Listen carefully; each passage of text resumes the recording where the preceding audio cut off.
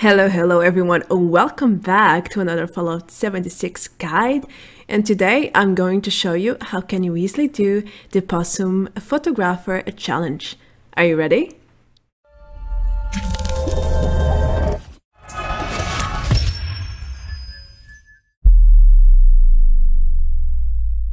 Hey, so as you probably know, the Pioneer Scouts faction is out. You can now get a new backpack, but to get the mods, you need to do a lot of grinding, aka you need to do the possum challenges in the world section, and that can be a bit bothersome and time consuming. So I'm going to start a series with, well, how can you do a certain challenges? And this one is going to be about the photographer one. I'm going to show you every single step that you need to accomplish this one. But before we start you need to do the mission bucket list. That's the only way to get your camera. And you also should check my guide on how to easily craft camera film because you're going to need quite a lot of it and you might not know the locations that you need to farm and craft camera film. So I think that will help you out. I'm putting the links up there and in the description as well in case you need them. And one more thing, I think you really should use a travel agent, the perk, because you will need to travel around quite often and it's expensive. Also use Fallout 76 as a free uh, teleport point. That's my two biggest advices for this challenge. So let's get started. So let me introduce you a little bit to this challenge. There are 16 tasks to do and most of them require you to actually take a picture of something like a location or uh, an object, a creature, or well, pretty much explore and take a picture of something which is self-explanatory since the challenge is for a photographer. If you have your camera and you like to take a challenge, then just go ahead and do this because I think it's probably the easiest possum challenge there is to do right now. And it was my very first one that I completed. And I'm doing others right now, and some are bugged, others are extremely complicated, and Yes, so if you're starting, go for a photographer and you shouldn't have much of an issue apart from one or two points. But as I said, I'm going to guide you through this and you should have no issues doing this at all. Excluding the exam, which I will do always in last place, modding your camera is the first step. And for these, again, you need to do bucket list, the mission, because when you finish the mission, you can access these lenses. If you have it equipped already, then just, you know, go to standard lenses, switch it uh, to the other one, and the point should be pretty much done. Just switch it over then to your uh, 150 millimeter lenses if you are into zoom, but this is a very straightforward one. The second point is about crafting a 50 camera film and you need to farm adhesive silver, crystal and a plastic. So as I mentioned before, feel free to check my guide on how to craft tons of camera film. And this is a useful point because we're going to need it, you know, we're going to take a lot of pictures. So crafting film beforehand is a great thing. So don't feel like you're going to waste materials into nothing because it's not really the case. You're going to need the film to take pictures to complete this challenge. Just don't forget to equip your super duper perk for a free goodies. So let's start with picturing around. And as you probably noticed, I'm following the order in the challenge. And we need to go to the Charleston Capitol building. And in here, it won't uh, count unless you go really close to the building.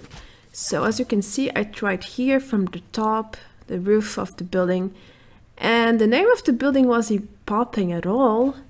So you need to come here, wait a little, and then there's a very specific angle for it to trigger. So be careful when you come here because it might seem bugged, but it's not. You just need to get the right angle of the building. Taking a picture of the Grafton Dam should be very easy.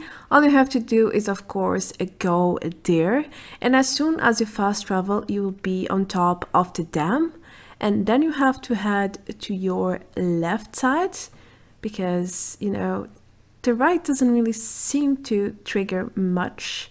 I tried several things and the name wasn't really popping but since the usual rule is to get close enough I just went down these rocks as you should as well and then I simply aimed at the main uh, dam wall and that's it. Take a picture when the name pops and you should be set.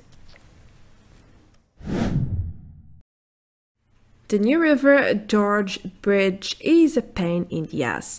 So this part took me a fair amount of time because the bridge is quite long and big and tall and everything.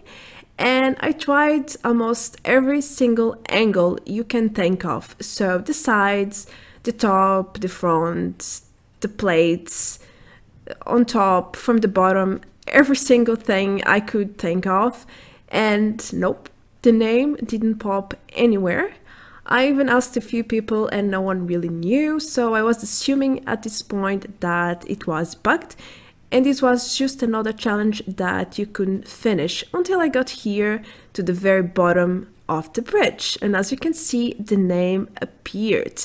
So again, you need to be a very, very close to the specific trigger of the location. And for the bridge is the very base, this bottom part here. And even when you are close, it's quite buggy. It doesn't always show.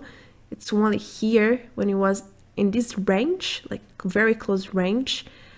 And yeah, it's not bugged. So don't despair if you are stuck in this part. That's the solution. Another very easy task is to take a picture of the top of the world. Simply head there and from the auto travel spawn, you can pretty much get close just a tiny bit and then aim your camera at the dome. And there you go. All you have to do is shoot and the task is completed. Number seven can be very easy or quite difficult to do depending on your luck. So if you see this event, collision course, just head there, because a Cargobot will always spawn at the end of the event. You can also use a government requisition to call a Cargobot or you might want to go to the Watoga or the Mire region and you might find a Cargobot around. It's quite common in these two regions but the most assured one is through this event and you just want to take a picture. So come by, get what you need and move along. Another very straightforward task is to take a picture of a Scorchbeast. Now, I headed to uh, this fissure here near the prime fissure and there are always Scorchbeasts around. Now the trick here is to get close to them because they take their time to land. There are also a lot of scorched around so you will have free action. But once they land, just take the picture and yeah, either kill it or run away because they can do a lot of damage to you. Another slightly easy one is to take a picture of a vertibot. You will have to farm some materials, but you can head to the Grafton Steel or even to the Ammunitions workshop. And then once you claim the workshop, you need to repair the vertibot landing pod. So in Grafton is right here. Then when you repair it, just take a picture and that's pretty much what you have to do. For the Wendigo picture, I suggest you to head to the Wendigo cave. And as the name says, there is always a Wendigo here at the very end of the tunnels. So just go straight forward until you find this sort of waterfall and pile of junk and there's where the Wendigo will spawn. And there he is. Just take a picture of him or kill him and then take a picture. The decision is yours. Now, taking a picture when it's foggy is probably very easy because I did it without even knowing I was doing it. Anyway, if you see these clouds, this mist, just take a picture of anything you want and it will pretty much count as task done. The same logic applies to taking a picture while it's raining, so whenever you see the rain falling off the sky, Take a picture of the beautiful forest or the mountains, the sea, the river, your house, it doesn't matter. Just take a picture and you're set. It's also the same for the sunrise and the sunset, except for the sunrise you will hear the birds. So that's one of the ways to know it's a sunrise. And of course it will gradually become lighter and lighter so make sure not to miss this gorgeous moment where the clouds are pink, orange, red. It's beautiful. And you only have to take a picture of the sky if you want. It doesn't really matter, really. In order to take a picture of the sunset, you need to kind of look at the sun, you know, when it's almost there hiding behind the mountains. Just shoot at it and it should count as task done. At least it did for me. And you can also enjoy the sunset, you know, it's quite pretty. Until this challenge, I had never really noticed that there is a beautiful sunset and sunrise in this game, so that's a plus. Taking a picture at night is probably the easiest thing you can do in this challenge. Literally, it's night, take a picture, that's it. I also did this one without knowing it was for the challenge, so there you go. As you can see, things are pretty straightforward and easy, or fairly easy to do. Now, the last thing we need to do is the exam, and we need to either head to Camp Adams or to the Pioneer Scout Camp and then take the photographer possum exam. Now, if you don't know the answers, please use Google to cheat. Yes, I'm telling you to cheat because it will save you a lot of time. And it's probably not a nice experience if you fail the exam 20 times because you have no idea about how, uh, you know, the old photography uh, things, procedures, and so on used to work. So whenever you don't know, just sheet and save yourself some despair, I would say. And once you do the challenge, and if you have done everything already, you will complete it and you will get one possum badge, which you can collect to get, well, possum stuff, which include backpack mods. And that's pretty much everything you need to do to complete this challenge. Did it even feel like 16 tasks? I don't think so. It was way too easy in my opinion, but that's great because it balances things out.